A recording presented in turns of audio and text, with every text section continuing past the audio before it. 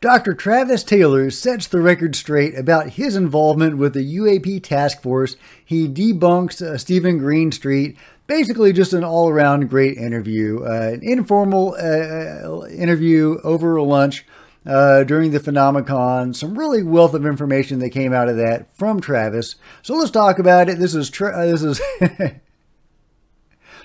This is Cosmic Road, where I discuss UFOs and the paranormal. Uh, please hit like, that'd be awesome. Smash that like button. Please smash the subscribe button and the bell that is next to it to be notified of future videos.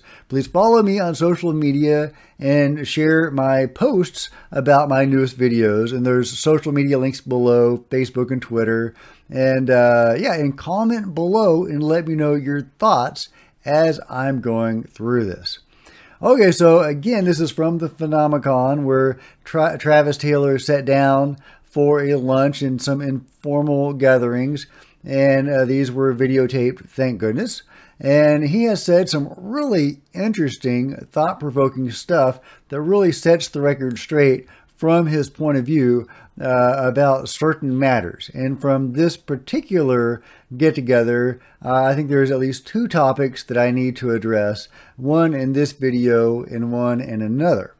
Uh, in this first part, he is debunking Greenstreet and the skeptics and the naysayers of Lue Elizondo and AATIP and people who are trying to discredit Lue uh, and AATIP and he is also setting the record straight about his own involvement in the UAP task force. So, without further ado, let's just let Travis tell it in his own words. Yeah, so um, uh, the leader of the, the guy who started all this and made it happen, um, uh, Jay Stratton, is Jay's nickname, John's first name. Uh, but Jay uh, started this uh, with the Office of Navy Intelligence and with the DIA back in the uh, late 90s.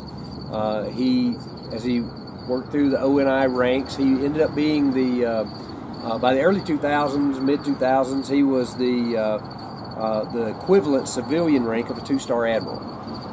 And he was running the program looking, hoping to find a nuts and bolts craft. And what he was getting, what happened was, uh, someone came to him with the 2004 Nimitz uh, data and uh, said, you know, somebody should be looking in this. And, he, and it was his job actually. Uh, his actual job was uh, threats to our airspace, the Na- he, with the navies, the naval airspace, the naval test ranges. So he started looking into it, and he was like, "Holy crap! They've actually got uh, ATFLIR footage of objects. They've actually got you know radar data of objects." And excuse me, and uh, so he he um, started putting a team together, and Lue Elizondo. Uh, so it was really interesting.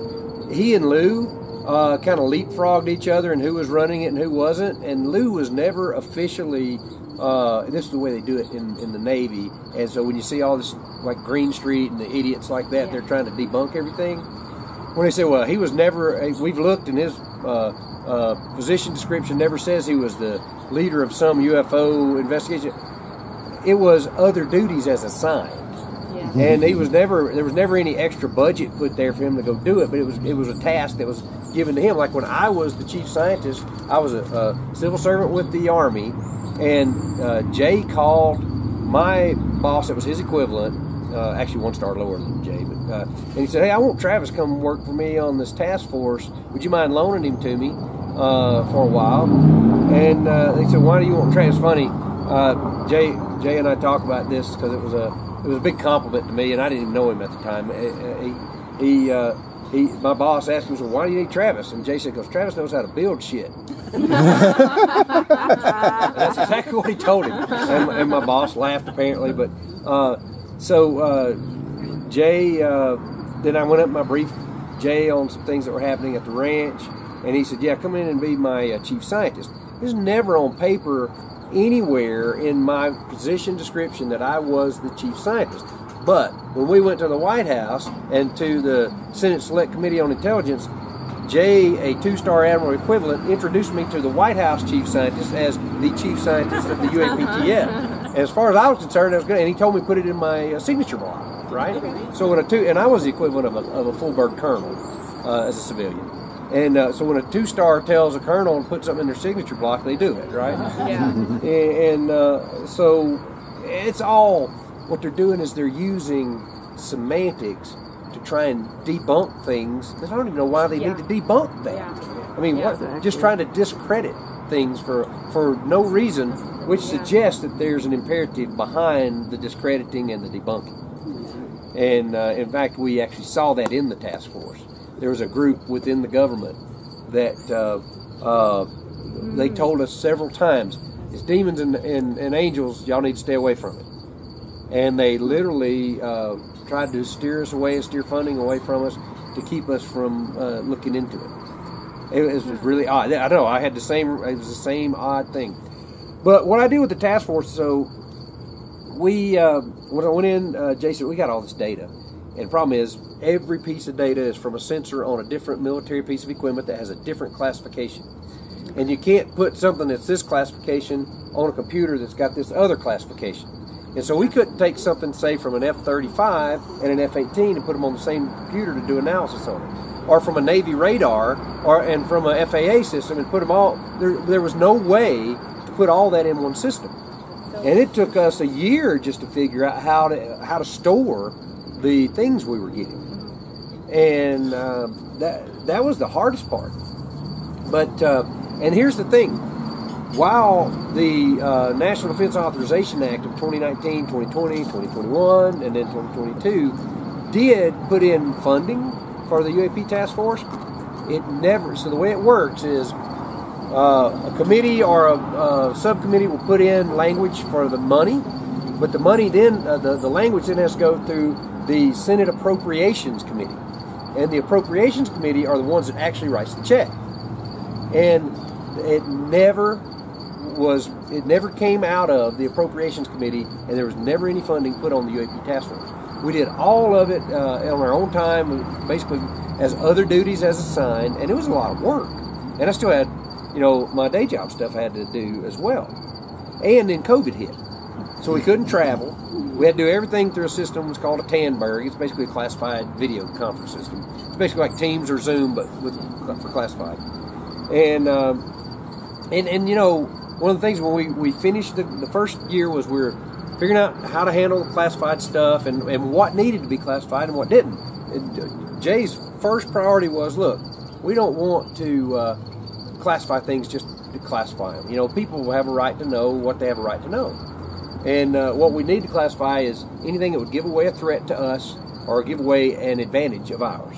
Basically, ways and means is what we call it, or methods and, and means, and uh, uh, and technologies. Like we couldn't, if a F 22 videoed something on a sensor that was classified that it even existed, we certainly couldn't show that this F 22 had captured it because then the Russians and the Chinese would know that we had a sensor that would do X, Y, Z.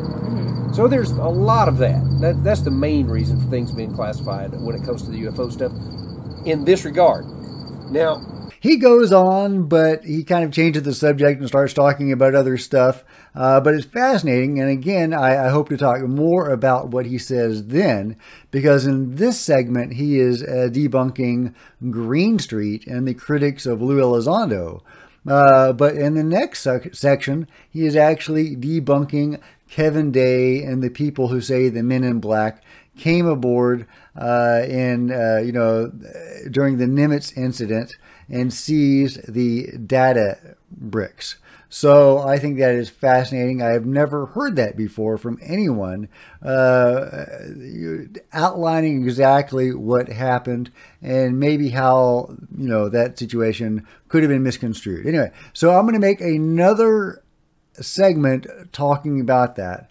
But in this segment, I thought it was really interesting how Travis, you know, got involved uh, with the UAP task force, and I don't think he he really uh, told the, the, the whole complete story, at least as we have heard from other sources, and maybe even uh, when he was being interviewed by the Mystery Wire, uh, that some of this came about during his involvement with Skinwalker Ranch when he detected these weird, uh, was it a radar signature?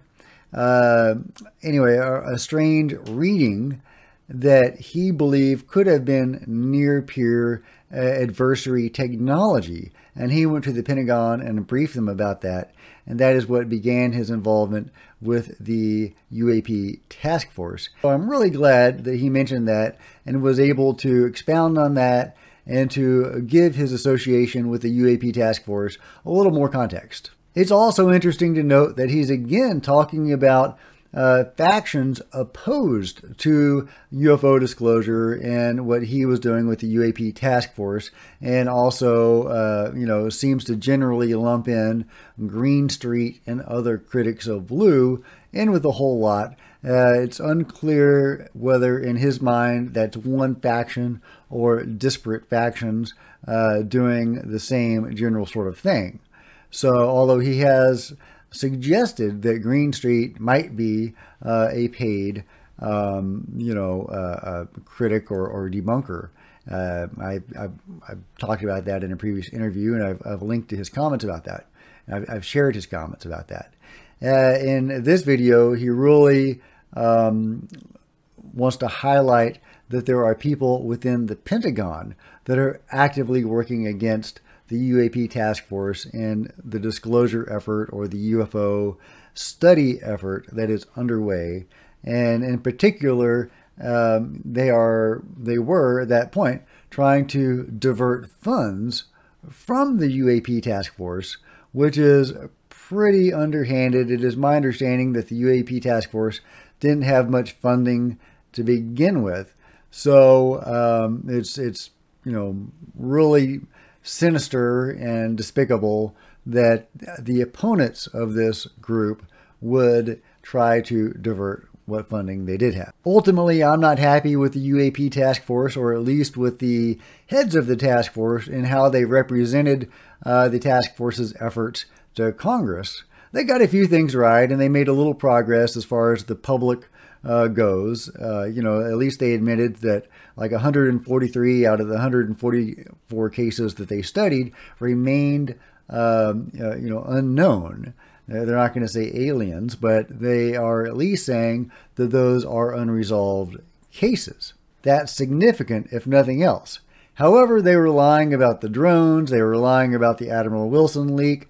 Uh, the one or the one actual UFO um, that they said was a UFO and not a drone that they displayed to Congress and, and the American public was like the worst possible UFO, uh, you know, footage there is or picture there is.